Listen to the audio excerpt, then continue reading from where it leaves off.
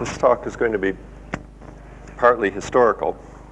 So let me open with a couple of ideas, major ideas in the history of mathematics.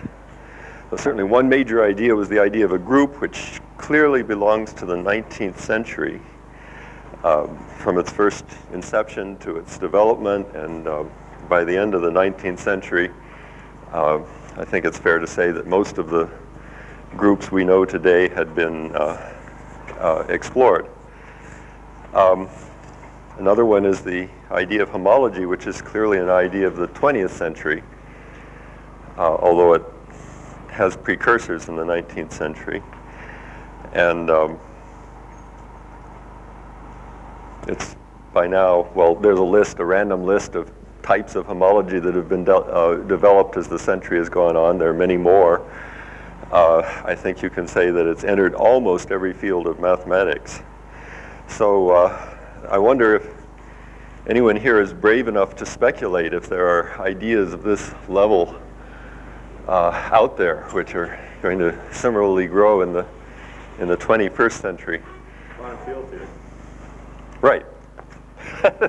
good, good. We have a brave person. Yeah, I think that's a in fact, you could almost say that it's entered many fields of mathematics even now. Um, Just waiting for the definition like those things. Yeah. Yeah, in some sense, uh, it's, a, it's a different situation because it's not clear why all the appearances of the word quantum in mathematics are parallel to each other. But anyhow, about bravery of speculation, uh, um, most people would say, well, let's let history see. But uh, Poincare was brave enough. Um, topology as a subject began clearly with a series of papers of, of, of Poincare, which are 100 years old.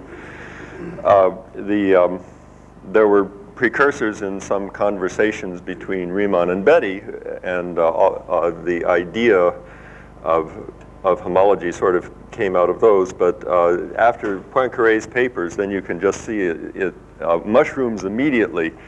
Uh, great debates. Many people start turning to it as their main, uh, main field of study. Poincaré in this original paper had the insight to say that the reason for studying topology was, was that um, it, it will be applicable in many different areas of mathematics. So he said uh, in, in his beautiful introduction um, that he would restrict himself to only mentioning three, and the three he mentioned were algebraic geometry, which is really goes back to Riemann, um, analysis ODEs, actually in his case, in the case of his problem, and, and group theory. But he made it clear that um, from, from his perspective, these were only three of the many possibilities. Uh, in my own view, this is, um, uh, well, I'm more attached to this, to Poincaré's paper as an introduction to the, um, um, to what was going to come than I am to, uh, to, to Hilbert's famous list of problems. Well, uh, anyhow, this is a way to go in by the back door to my main topic, that, that from the very beginning, topology was supposed to be an applied subject uh, Poincaré made it clear that it was worth spending this amount of time on it because of, of, of its potential applications. Applications Yes, all of, all of, all of um, Poincaré's applications were applications to mathematics, and I should make it clear that's what I mean in, in my title, although certainly topology has been applied outside of mathematics as well. Um, speculating about applications, I drew a historical graph, which, um, I mean, the, the dedication to applications both inside and outside of mathematics has not been uniform throughout the um, uh, century, it seems to me. Um, and uh, it sort of was high at the beginning, high at the end, and, and somewhat lower in the middle. I think this is true when you look at mathematics as a, as a whole. Um, well, I've given some, some examples. And um, certainly many of the people of Bourbaki are now writing these, these uh, retrospective treatises explaining why at this time it was very important to consolidate the foundations of mathematics. And I think it's also true in um, topology, and that's, that's the main um, uh, subject I want to speak about. In the beginning, of course, Poincaré said it was applied, and there were, and it was very applied in the in the early days. It was uh, the the main people who studied it were were people who were also interested in applications. However, already in 1940, um, in the in the in the 30s. Uh, I guess in 1935 there was this enormous topology conference with only topologists present. Um, already in the 30s, it was uh, sort of drifting off into its own world. Um, an interesting historical remark is in the late 30s, uh, characteristic classes were being developed. So Todd was finding these beautiful cycles on algebraic varieties, and um, Whitney, Stiefel, and Pontryagin were finding these beautiful cycles on uh, topological spaces. There's no evidence reading either side that they had the idea that they might be related. Of course, I mean, it was a, at least a, at least a 10-year period that both of, that, that both groups were doing the same thing before, as so, so, so far as one can tell from what they wrote, anyone on either side was aware that they were really doing different aspects of the same thing. So this is some um, measure, perhaps, of isolation. Um, this is just going from what they wrote, as I said.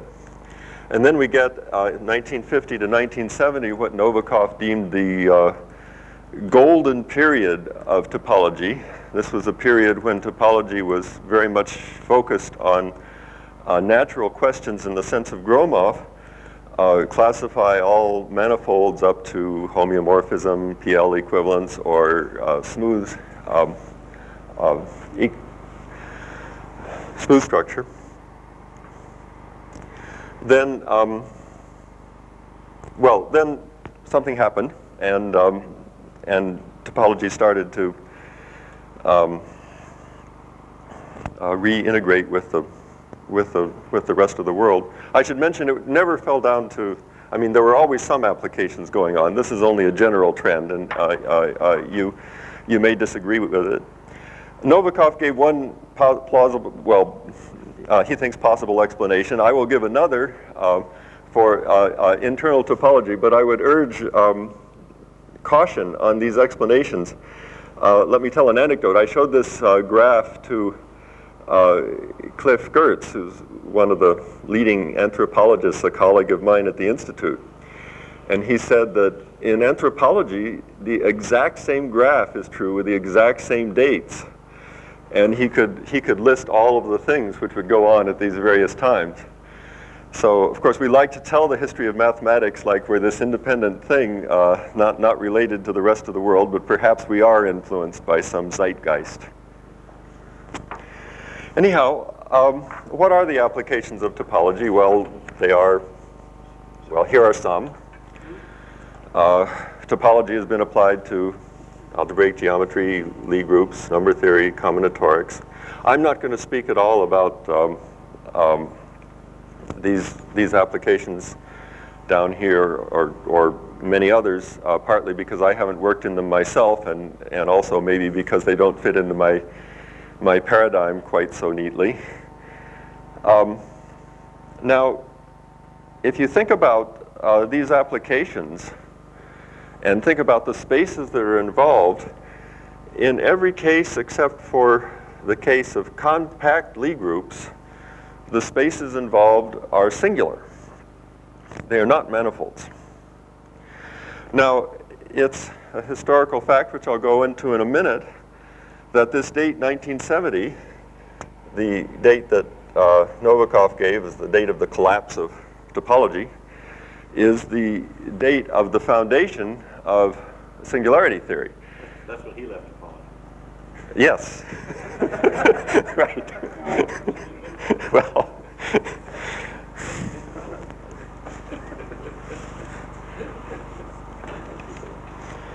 Um, so my alternative explanation of this phenomenon, uh, at, at least within these fields, uh, look at these early applications. So Cartan was applying topology to the study of, of compact Lie groups. He looked at their um, um, homology theory using, the, uh, using de Rhams' theorem. De Rham was his student. Uh, okay, so, so that was the smooth case. Lefschetz was looking at algebraic geometry, but he, he was perhaps one of the first people always to put smooth in front as an artificial hypothesis. Algebraic varieties aren't smooth, but Lefschetz decided to study the smooth ones. The uh, uh, uh, generalization of everything he proved to the, to, to the general case had to wait until um, after this um, date.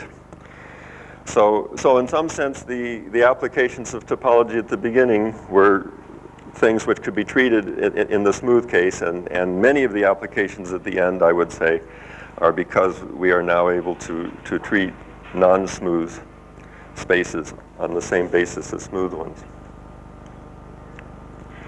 Um, okay, so I'm going to come back uh, and, and give some sample um, cases, which I've um, chosen among many possibilities uh, at the end. Uh, in earlier talks, there have come up uh, some of the applications in algebraic geometry and in uh, uh, group theory, so I'll give some in number theory and combinatorics. Uh, let's make sure we're all talking about... the Lie group example has singularities when you consider orbits, right? Exactly. Uh, and, and there's this incredible Lusztig program, you might say, of, of solving almost every problem in algebraic group theory by looking at these singular orbits and looking at the intersection homology of the closures of the orbits. Right. So, so as soon as the group is non-compact, then then the closures are are um, uh, are singular. Oh, um, sorry. Maybe I should revert to this. Okay. Well, a um, singularity is uh, just a uh, point where it's not a manifold. Um,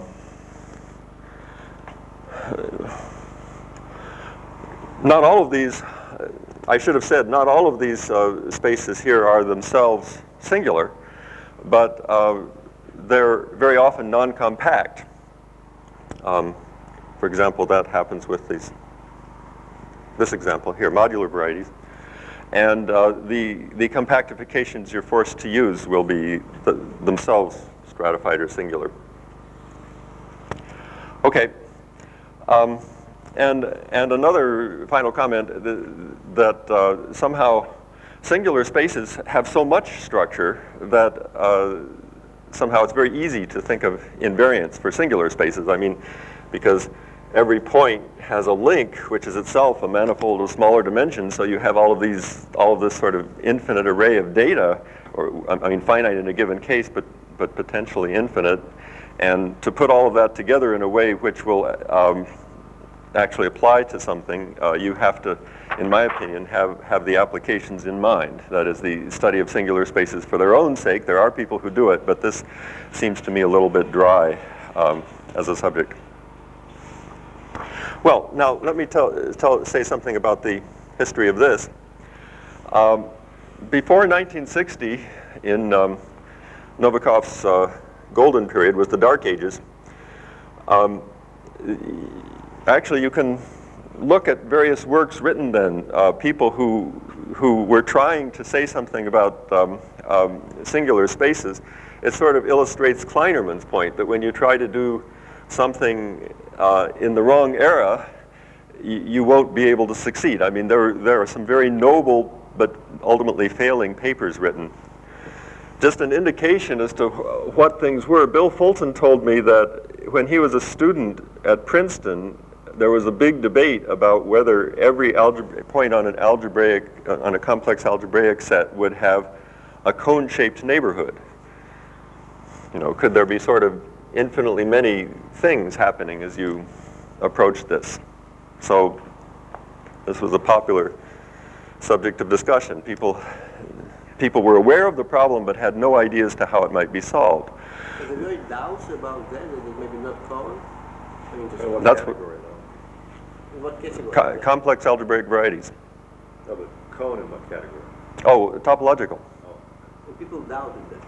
That's what Bill Fulton told me. I wasn't there. It's hard to believe it, right? Well, no, I mean, I, I mean, there was an expected answer, but some people thought, well, maybe it wasn't true, and in any case, they thought that, that you know, it would be very, very hard to prove.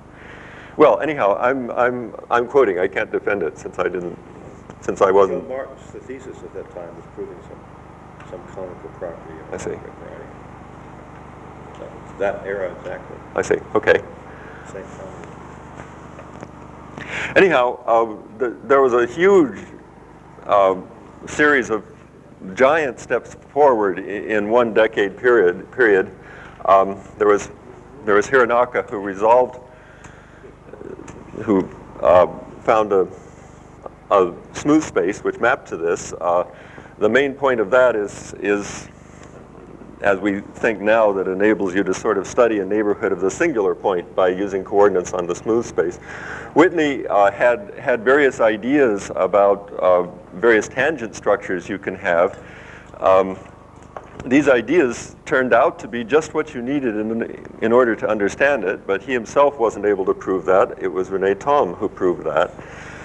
And, um, well, anyhow, there were huge uh, um, uh, steps forward uh, so that at the end of that period, at least topologically, one knew that every singular space was essentially equivalent to, to this picture here. Uh, the, the, all the singular spaces that came up in the slide I have have, have a structure which is perhaps this point is replaced by a manifold and this link is replaced by a bundle, but in any case, it's, uh, it, it's essentially some finite structure like that.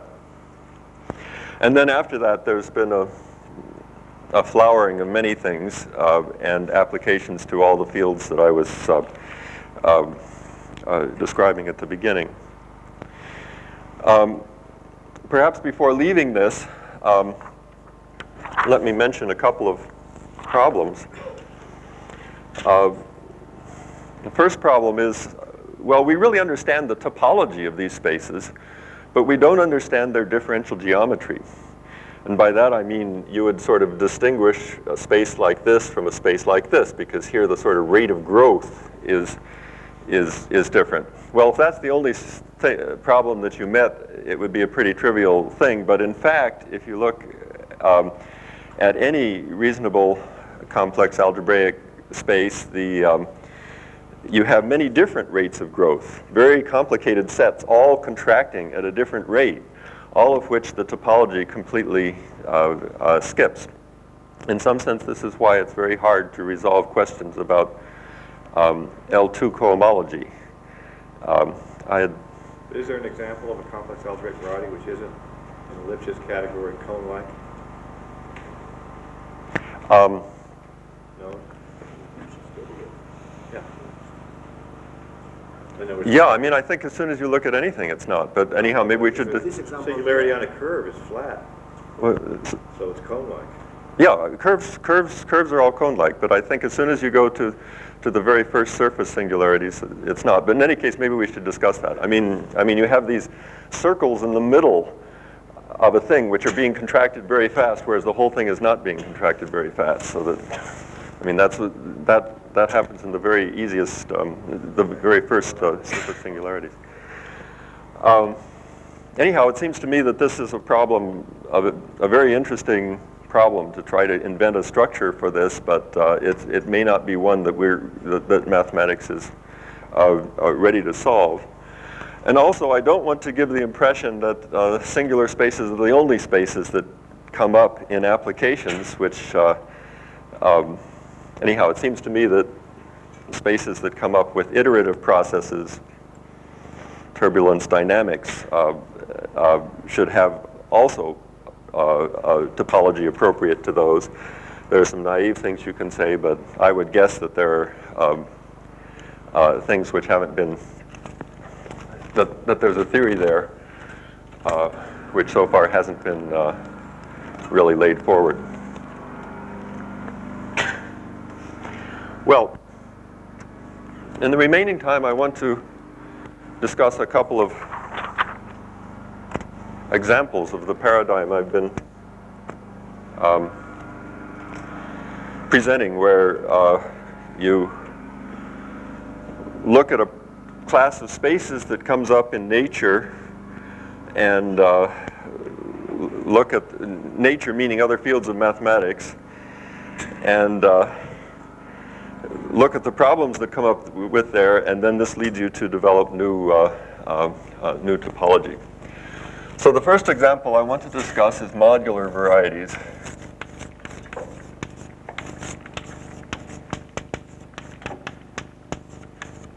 So these are basically locally symmetric spaces. So this is um, these are these are Riemannian manifolds which have a local involution, meaning that uh, if I have a point on my um, manifold, then there's some neighborhood, so that the um, map of that neighborhood that I obtained by point P, there's some neighborhood, that, so that the map on that neighborhood I obtained by taking x to minus x. That is, I extend the geodesic from x to p by the same distance in the opposite direction. That gives me a little involution if the neighborhood is small enough, and I want that to be an isometry. So this is a beautiful uh, uh, property discovered by Cartan. Then I want them to be complete That means if I take a geodesic, I can keep on going. I don't fall off the edge of the manifold. Then I want them to be finite volume. Since it's a Riemannian manifold, volume makes sense. And finally, I want them uh, to have uh, an, an arithmeticity problem, which I won't describe, but um, it was impli implicitly described in many previous lectures. On the other hand, according to uh, theorems of Margulis, uh, this is automatically true in most cases. So um, by and large, we're just talking about this class of spaces here. Okay. These spaces are non-compact. They have these, as uh, drawn here, they have these things, these hairs going off the edges. Now, um, what? So something that can be stated just in terms of finite coverings, right? That's part of Yeah. That's a theorem. Right. So it can be stated without, for a high school student. I don't know what it is, but Oh, what? Uh, Margot? Margulis, no, never mind. Yeah, yeah, okay, but I, but, but I want, I have something else, Okay. some other direction in mind. Um, It's a quotient of symmetric space by discrete. yes, so, so, so essentially this means how, how pi, pi 1 of this acts on the simply connected covering space as always, and the arithmeticity is, is, is how that sits inside the group of all automorphisms of the, of the, of the simply connected covering space. Now, what do we care about? Uh, what aspects of these spaces do we care about? Uh, we care about their automorphisms, meaning self-maps that preserve all those structures. Well, if you think about it, you can sort of prove to yourself that there would only be finitely many one-to-one self-maps that preserve all those structures, and so we're forced to, if we want a rich theory, we need to take self-correspondences. So we have here our symmetric space, our, our modular variety, and then we have a uh, correspondence which, which covers it so that this uh, source and target uh, covering map are both um, uh, finite to one and preserve all of the, uh, preserve the metric structure, that is, preserve the structure that I'm interested in. So this is called a Hecke correspondence.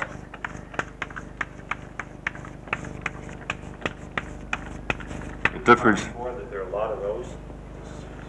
Yes, it turns, uh, it turns out that there's an enormous supply of these, always. That's what property four means, Yes. By Margulis's theorem. Okay, That's what I was trying to say. okay. I didn't know what it was. I remember it's by itself, but once we have many correspondences. Okay, then, um, so, so one is, one is interested in the, um, in the action of these things on, on homology. And the, uh, well, let's see, the problem that we, uh, we addressed was to, so I'm talking about joint work with uh, Mark Goresky. This is a series of about five papers, of which the last one was just completed last week. It's been going on for 10 years.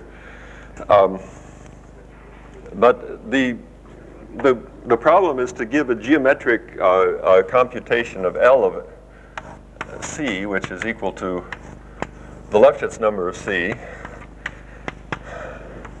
uh, trace C upper star, mapping, uh, well, some, some homology theory, uh, and it's nice if it at least includes um, uh, intersection homology of a particular compactification. To itself. Is S and T both unramified? What, what? Yes, well, that's what I have in mind. I mean, let's, let's consider the ones way out there, except for finitely many. Okay, um,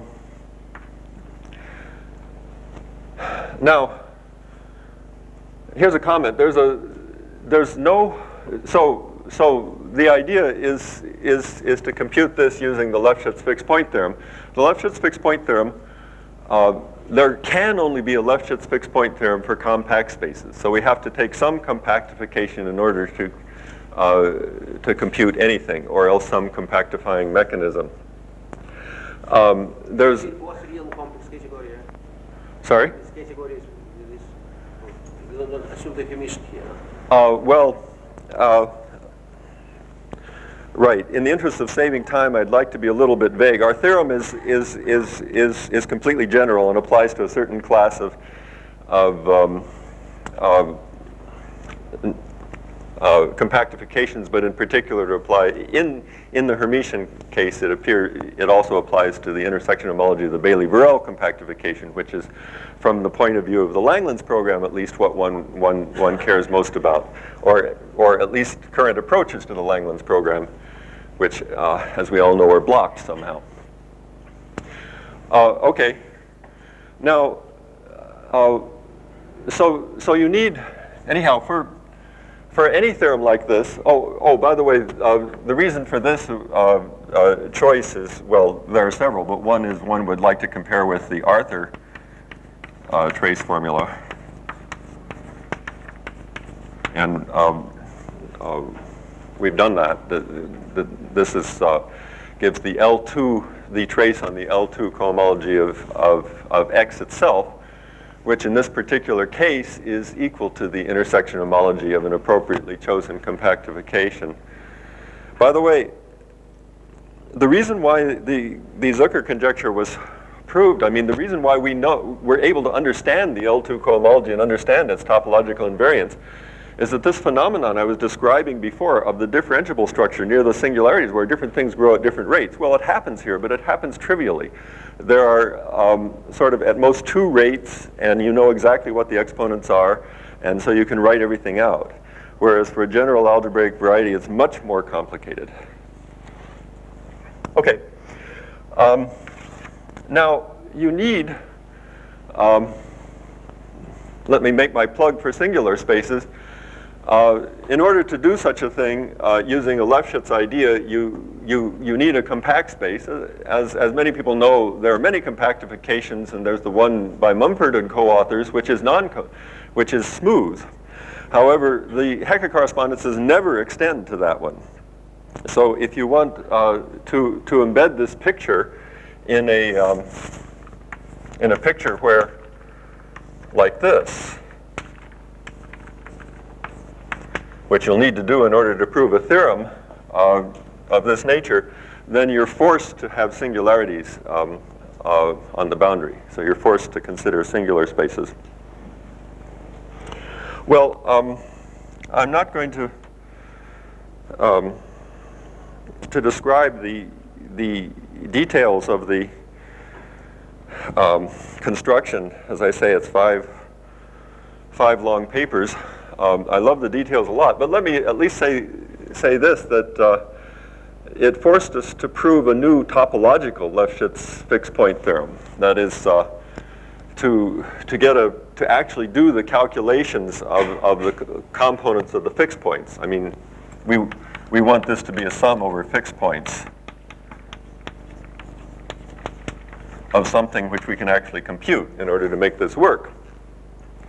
Uh, so, so in order to get something that you, you, uh, uh, you can actually compute, we had to write a, a new Lefschetz fixed point theorem, which was fun in itself and has, has found uh, separate applications.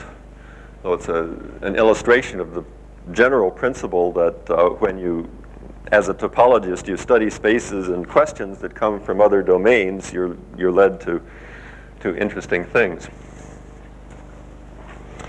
Actually, instead, I'd like to uh, uh, bring up another couple of problems. First of all, what is the complexity?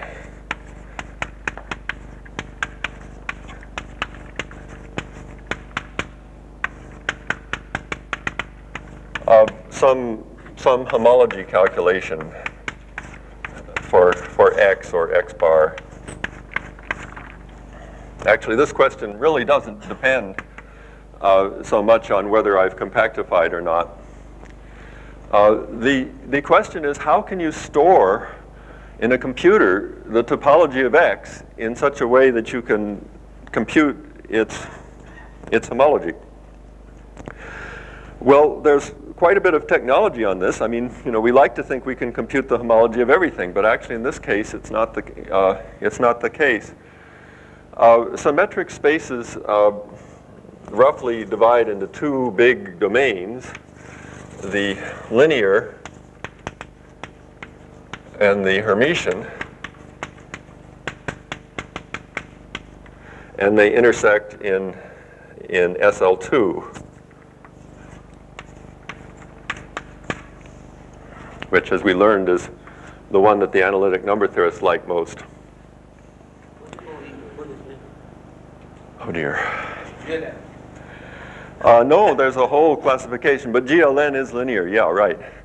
Um, linear means that um, basically what it means is that I can put a on the on the symmetric space itself. I can put a a linear structure where uh, you know if I'm given two points, I can conduct con connect them by a line. Well, maybe that's every space because I can take a geodesic. And then if I'm given three points and connect those three lines, then there's then if I draw all of the lines like this, I get the same surface as if I drew all of the lines like this. So, and, and so on, uh, as I go up. And this is obviously a good thing if you want to triangulate a space, because it means if you sprinkle points in there, you can start getting triangles out of the sprinkling of points. Now, I don't claim that there's a theorem that there is no such structure on, on the ones which aren't, don't fall in this class, but nobody's ever found one, and uh, if you did find one, it would solve a very big problem. So, We projected the flat, formally we didn't project the flat structure. yeah, that's a, yeah, uh, basically I'm describing a projective structure, but not, not necessarily, well, I mean, it doesn't make sense to ask if it's compatible with the metric, yeah. Okay, now, because of works of Voronoi, again, in this century, but at the beginning of it, uh, Voronoi, in following his ideas, uh, he was an amazing mathematician who died sort of right in the middle of writing a series of papers on this.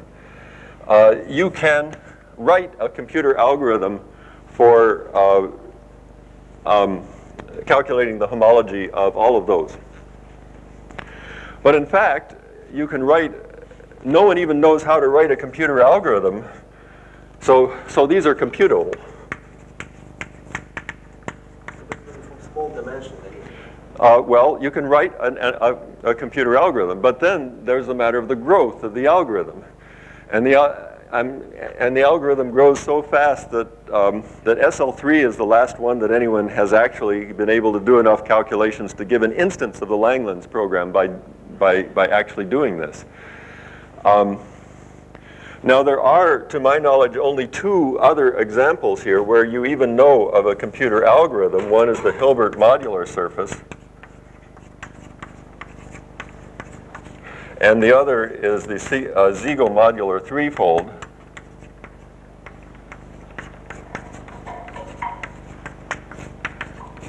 and this was joint work with Mark McConnell, one of the hardest papers I was ever involved in. Uh, so for all of the others, even in this in principle algorithm, it's just unknown. On the other hand, um, so, so, so what does this Voronoi algorithm do? It actually displays the thing as a cell complex. Um, on, on the other hand, one has the feeling that you're doing something wrong here because this grows so fast. So perhaps there's something more efficient to do. Where's the tabular modular space? Is that over there on the right? Um, the, it's, it's not, Not, not in the, it's, it's widely regarded as being analogous to these, and, and, and you can say similar things. there's an algorithm there. That's right. There, there it would, and, and in fall, and in fact, if you know that algorithm, the ones over here are, are, are really quite similar to that. And even this one, the one we found for that is really quite similar to that. Um, anyhow, one, one has the feeling that you've made a, a, uh bad uh, computer science judgment by deciding to triangulate this space. On the other hand, triangulation or cell complexes is virtually the only way we know how to present a, a- an, an arbitrary space on a computer. So I have the feeling that there's something missing here. This is definitely relevant to, uh, Could you estimate how difficult is structure, including so standard iterations and so on? Could you look to the answer, not the way of computation, and to see Right. whether you could from? Uh, right. This is sort of what I'm suggesting. I mean, when, when, when, I mean, there's a whole community of mathematicians that, that works on this, and they keep hitting a sort of a glass ceiling here. And when that happens, as, as we were told in earlier lectures, uh, doing exactly the kind of thing that you're suggesting is a, is, uh, seems to be a good idea. Seems to me this question is at least relevant to, uh, to Peter Sarnak's question. What is the, uh, reason for the um, success of these spaces in, in, in answering questions in number theory. Because it does appear that these spaces are incredibly complicated, at least the best, the, the best algorithms we have, in the case where we have any algorithm, is, a, is incredibly complicated. Whereas we are able to extract information out of them by various means. For example, we were able to extract this information. I mean, it's not, it's not surprising. It's always easier when you take an alternating sum. In fact, that was in Poincaré's original paper. But, um, uh, but the answer to this is just far less complex to, than, than the answer to that. Uh, while I'm at it, because we're supposed to speculate wildly, let me add, uh, add one of my favorite uh, uh, speculations. Can you consider uh, the action of C as a dynamical system?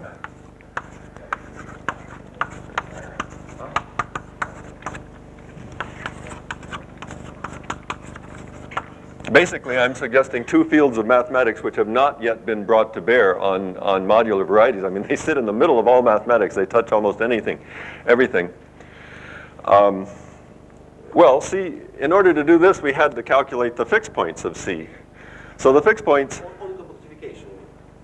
um, yes, but the, the, um, it, it turns out that the interesting dynamics are on each piece.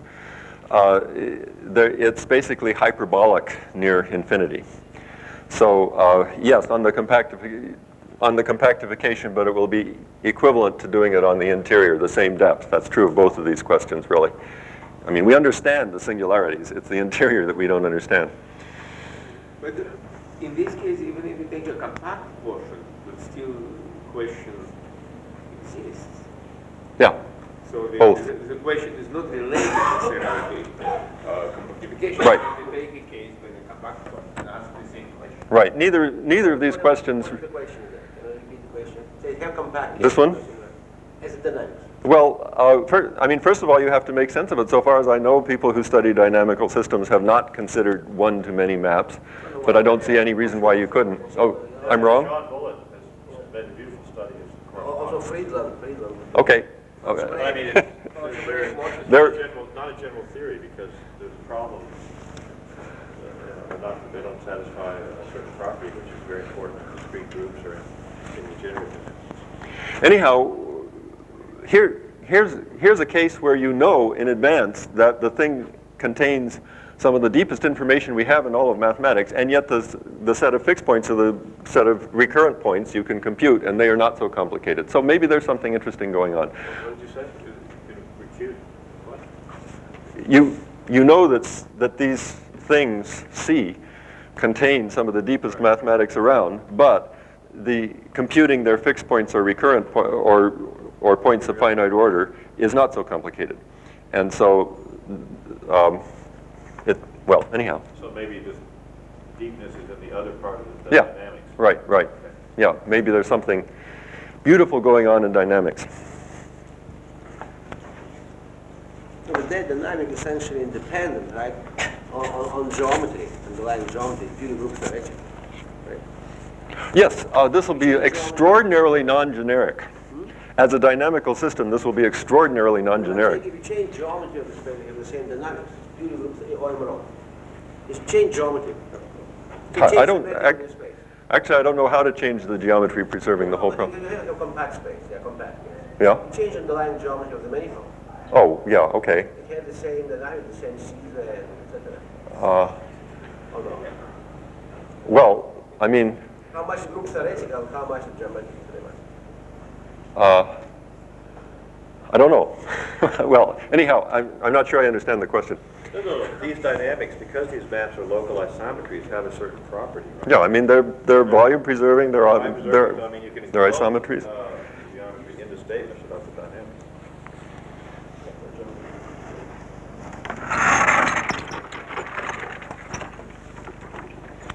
Um, in my remaining two minutes, I'd like to just say a couple of words about another problem, sort of as an excuse for philosophical comments.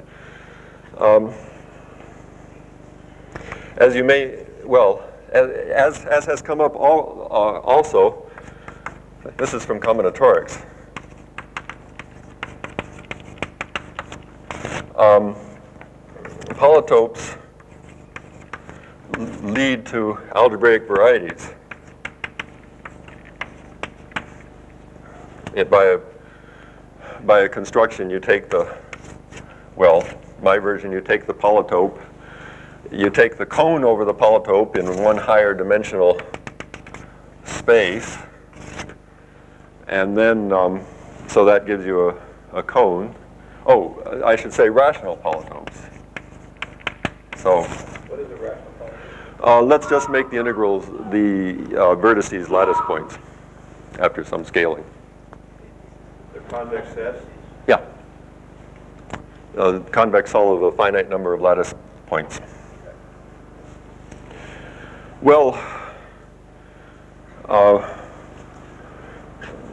maybe I won't say much about this except to say that this toric variety is, is uh, pieced together out of a bunch of, of tori, uh, one for each face of the polytope, and the angles of the faces of the polytope uh, give uh, how to glue those tori uh, to each other. So I don't think anything I could say in two minutes would add to this. But I do want to make a, um, a philosophical comment. Uh, the idea that there should be strong interaction between uh, topology and combinatorics goes back at least to Whitney, who was a founder of both fields. Uh, he certainly felt that that there should be an interaction, but the example that he had was mainly simplicial complexes, which is a very um, inefficient way of building a complicated topology from a combinatorial uh, set. This uh, toric variety construction, instead of sort of putting together sim- simplices, puts together tori, and that's a little more efficient.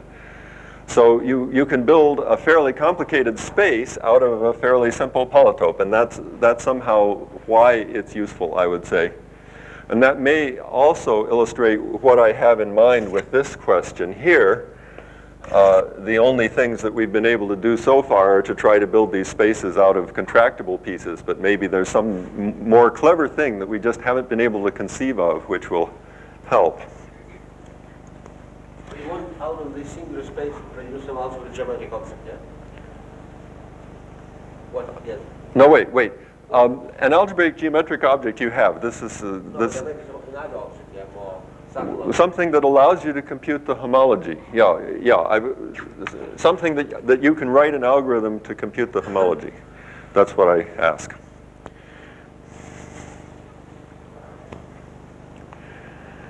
Um, okay.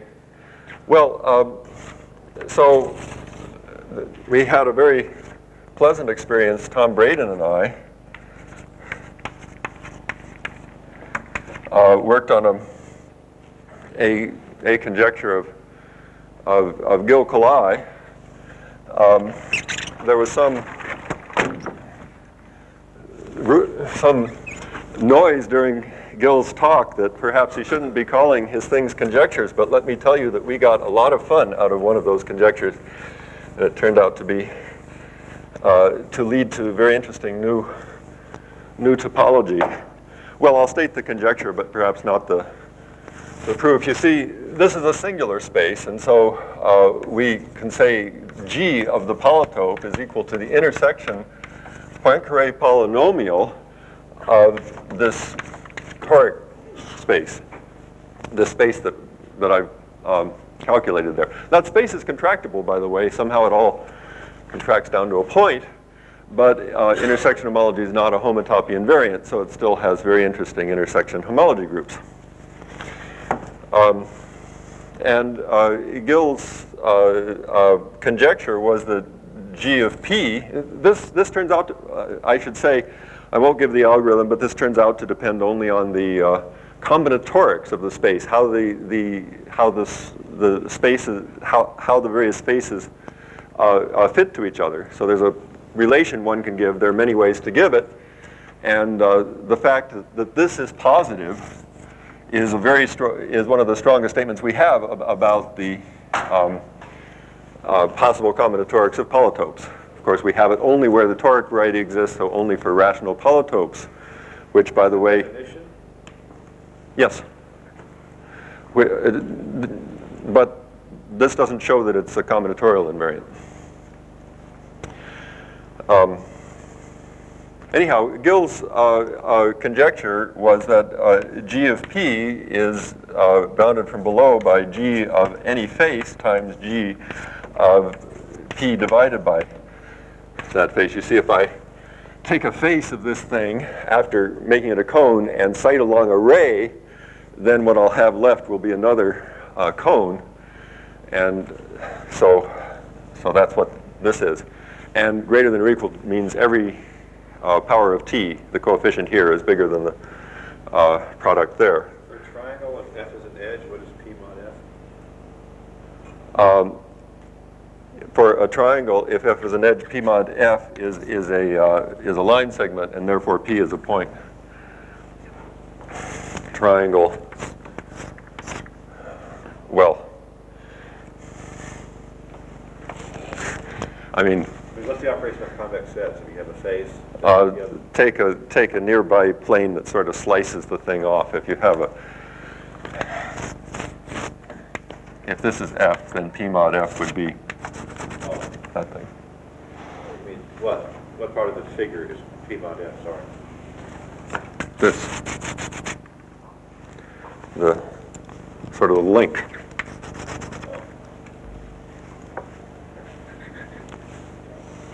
Okay, so this is some some this gives.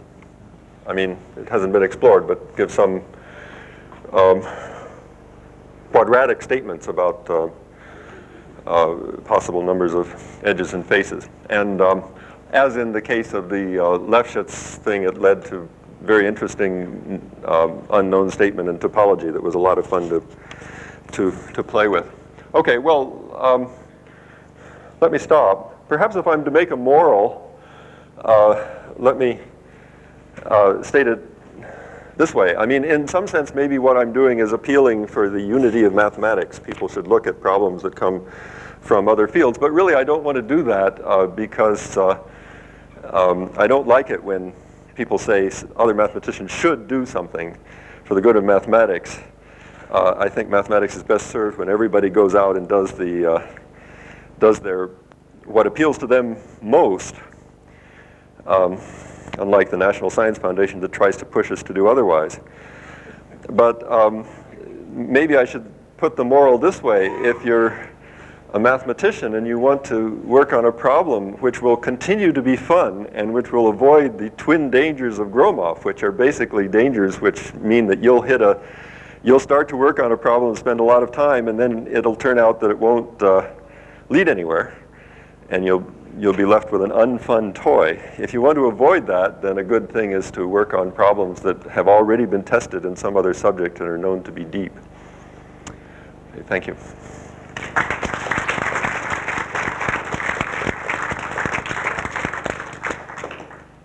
Questions? Is it processing? Uh, yes, for, uh, that's what uh, Braden and and I proved for rational polytopes. And then for the others, it's a big unknown with various ideas floating around. Is there a definition for algebra? Sorry? Is there a definition for algebra? Many, many.